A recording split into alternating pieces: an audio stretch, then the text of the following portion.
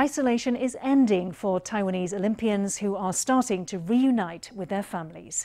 Badminton star Wang Chi-lin was released from his hotel early Thursday after spending the required seven days alone.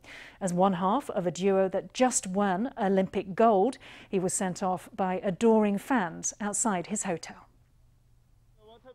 Following seven days of isolation at a hotel, this Taiwanese Olympian is going home at last. In the early hours of Thursday, Wang's father arrived at the hotel to pick him up. Wang chose to check out under cover of darkness, but he couldn't hide from his fans who were waiting outside. The moment they saw him, they were clamoring for a photo. I'm very happy I got a photo. I've seen all his games. As for Wang's doubles partner, Lee was still in his hotel room and will stay there for another seven days to complete self-health management. Lee turned 26 on Thursday, and Wang was among the first to wish him a happy birthday.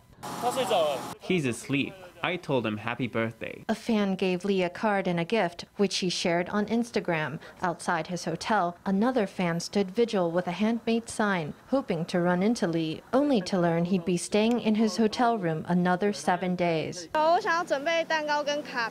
I prepared a cake and a card to thank him. It's really too bad he has to spend his birthday in a quarantine hotel. Meanwhile, over in Taichung, judo star Yang Yung-wei reunited with his family after three months apart. His first order of business was a stop at the local temple to thank the earth god for blessing him. Thank you for your support. Right now, I'm looking forward to enjoying a short break with my family, to spending some quality time with my family.